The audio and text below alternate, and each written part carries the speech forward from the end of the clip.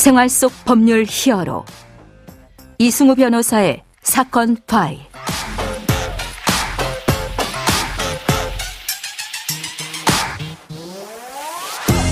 안녕하세요. 이승우 변호사입니다. 각종 사건 사고에서 여러분을 구해드리겠습니다. 오늘 열어볼 사건 파일은 청소년 일탈 장소 관련 사건입니다.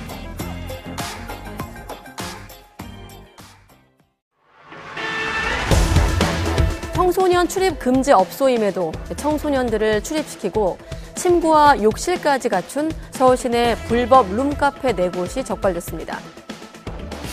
이 청취자분들 중에 저와 비슷한 또래 있으신 분들은 이제 기억을 하실 텐데요. 오래전에 비디오 방이 정말 많았죠. 어, 제가 변호사가 되기 전에는 이제 그 비디오 방이 DVD 방이라는 장소로 바뀌면서 청소년을 포함한 젊은 청년들의 은밀한 연애 공간으로 엄청난 사랑을 받았었습니다. 자, 룸카페도 이제 그런 존재인 것 같은데요. 어, 청소년들의 일탈 공간으로 지목받는 룸카페에 대해서 법무법인 법승 부산사무소 이소희 변호사와 함께 알아보도록 하겠습니다. 안녕하세요, 변호사님. 네, 안녕하세요. 법무법인 법승 부산사무소의 이소희 변호사입니다. 네. 자, 저는 이제 DVD 방이나 비디오 방은 가봤는데요. 이제 룸카페는 못 가봤어요. 못 가봤는데 어, 청소년들이 많이 간다는 룸카페가 이제 최근 사회적으로 문제가 되고 있다고요? 네. 그 얼마 전 이제 침대와 욕실을 갖춘 변종 룸카페가 네. 청소년의 이탈의 온상이 되어서 음. 사회적으로 큰 문제가 된 적이 있는데요.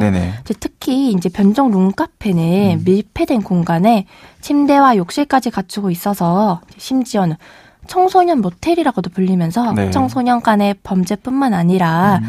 또 나아가서 성인과 청소년 간의 범죄까지 이제 빈번하게 발생하고 있습니다. 네네. 네, 그리고 이제 이제 최근 서울에서는 네. 중학생이 룸카페에서 음. 술을 마시고 예. 옷 벗기는 게임을 하다가 예. 같은 학교 중학교 이제 후배를 성폭행했다는 것으로. 이제 문제가 된 적이 있는데요. 음. 해당 중학생은 중간간 혐의로 예. 형사 재판을 받고 있고 예. 이제 또 학교에서는 전학 징계 처분까지 이제 받았는데요. 음. 그 학생은 징계 처분에 대해서는 후배와는 이제 합의된 신체 접촉이라며 징계가 위법하다는 주장하면서 네. 불복해서 행정소송 제기하였지만 이제 서울행정법원은 룸카페 내에서 성관계에 대한 동의가 없었고 예. 이에 학교의 징계는 정당하다며 이제 판단하였습니다. 네네. 네, 그 이처럼 이제 룸카페에서는 청소년 간의 일탈이 범죄로 이어지고 있고 형사처분뿐만 아니라 학교폭력위원회의 처분까지 받게 되는 등 그 문제가 날로 심각해지고 있습니다. 네.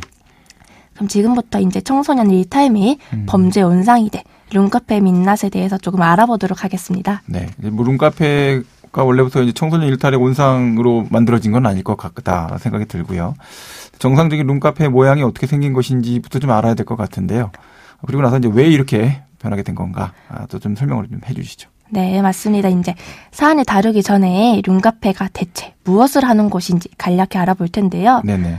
룸카페는 룸과 카페 이제 합성어로 예. 방구조의 카페를 의미합니다. 네네. 처음 룸카페는 투명창과 같이 밖에서 안을 들여다볼 수 있는 형태였고 예. 또룸 외부에는 과자, 아이스크림, 음료 등 이제 간식거리를 제공하는 곳이었는데요. 예.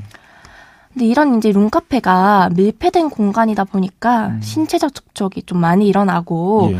이제 이에 투명창이 이제 좀 자연스럽게 음. 불투명한 문으로 바뀌고 잠금 장치 이제 달고 간이 침대까지 설치되는 곳이 생겨나고 네. 또 심지어 일부 룸카페는 이제 숙박 시설과 유사하게 뭐 침구류, 화장실까지 갖추게 되었습니다. 예. 네. 이런 형태로 변화에 대한 수요가 있었다라는 생각도 좀 들기도 하고 이것에 관련돼서 또 업주분들이 너무 또 적극적으로 대응을 했다 이런 생각도 좀 많이 드는 이런 여러 가지 문제들이 좀 생각이 드는데요.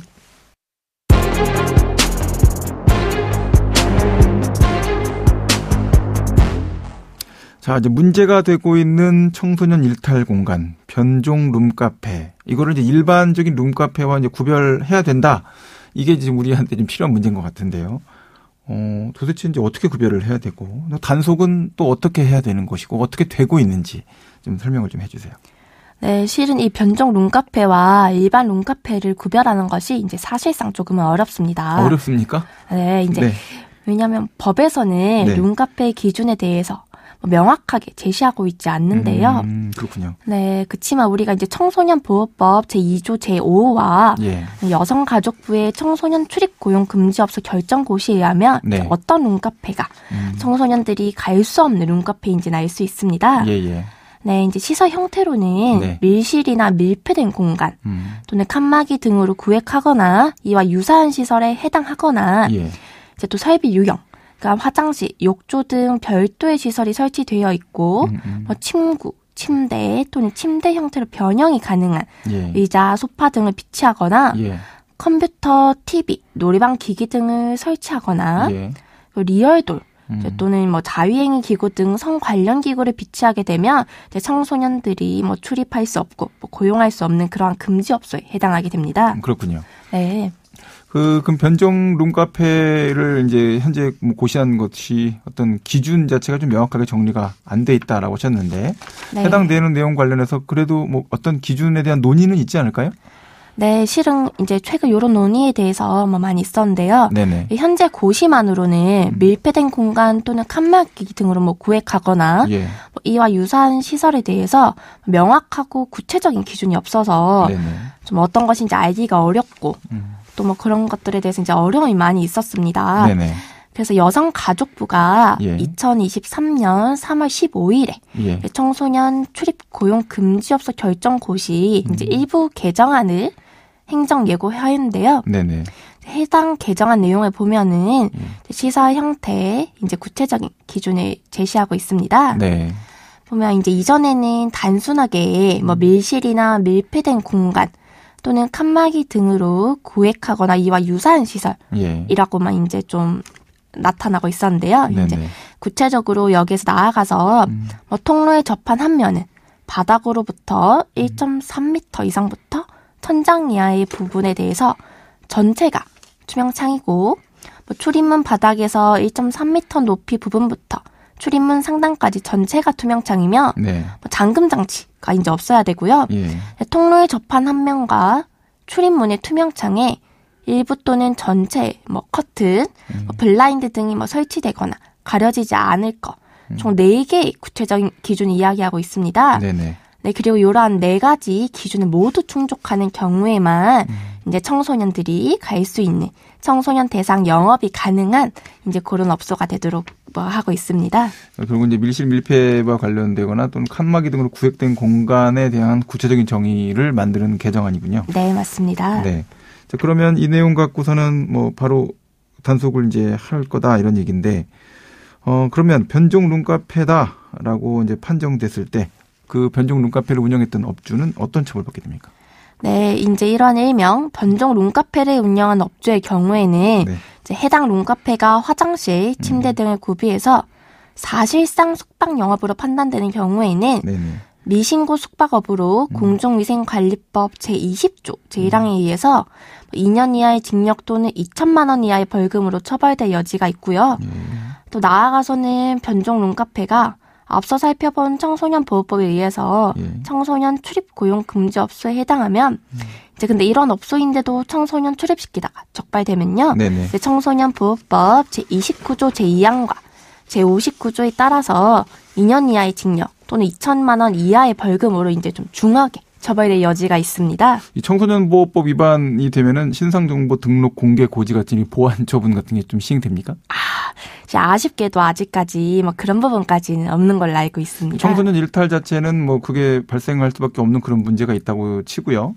네. 그 문제에 장소 제공 관련돼서 좀 금지하려면 그 신상 정보 등록 제도 도입해야 되는 거 아닐까요? 변호사님 생각은 좀 어떠세요? 제가 봤을 때도 이제 뭐 청소년들이 음. 그렇게 계속 뭐 규제하고 단속하는 것보다는 네. 이제 업주들도 그런 노력이 필요는 해 보이는데요. 네네. 어쨌든 개인의 신상이 음. 문제가 되는 거기 때문에 좀더 신중하게 논의가 있어야 하지 않을까 싶긴 알겠습니다. 합니다. 제가 경솔한 질문을 좀 드려봤는데요. 네, 알겠습니다. 자, 이제 오늘 이제 변종 룸카페에 대해서 이제 변호사님으로부터 법적인 이야기를 좀 들어봤습니다. 이제 마지막으로 조언을 좀 해주시죠. 네, 그리고 혹시 이제 이렇게 좀 신속하게 대응을 하지 못했다면 음, 음, 음. 이제 밀폐된 곳 안에서 예. 어떠한 일이 있었는지 좀 증명에 어려움이 있으니까요. 예. 이제 반드시 변호인의 조력을 좀 처음부터 받아서 음. 사건을 해결해 나가는 것이 좀 필요해 보입니다. 네. 지금까지 이소희 변호사와 함께했습니다. 오늘 고맙습니다. 네, 감사합니다. 생활 속 법률 히어로 이승우 변호사였습니다. 내일도 사건에서 여러분들을 구해드릴 사건 파일 함께 알겠습니다.